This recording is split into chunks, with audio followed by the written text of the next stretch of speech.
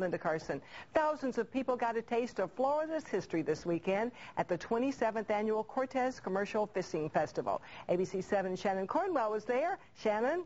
Linda, Cortez is a famous commercial fishing area. In fact, it is one of the last fishing villages on Florida's Gulf Coast. And this annual festival highlights these hardworking fishermen. And this year, the festival theme was crabs.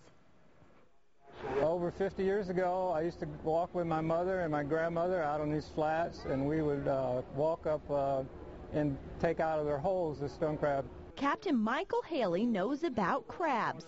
He's been crabbing these waters nearly all his life. A lot of things are taken for granted in our food chain, and, and, and uh, farmers and commercial fishermen, we work very hard and we need all support from the public we can get. And this weekend, his profession is getting that support. The 27th annual Cortez Commercial Fishing Festival draws in nearly 10,000 people a day. There was a lot of negative press about the commercial fishing industry, so it was an opportunity to show people the good side of the industry and make people more aware of environmental issues and, and things that affect the ability of Florida's fishermen to produce seafood. And blue crabs and stone crabs are what these fishermen like Captain Haley are after. The good thing about the festival, I get to show people a proper way of breaking it off. You don't twist it off, you don't pull it off. There's a certain way of snapping it off.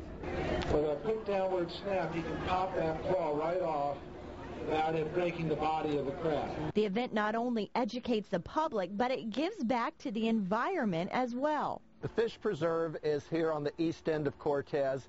It's that whole strip of mangroves that you see in front of this boat that's moving. The nearly 100 parcel preserve is being restored into a natural habitat park, which will give refuge to all sorts of creatures, even these crustaceans, which will keep Captain Haley in business. I'm fifth generation in this area.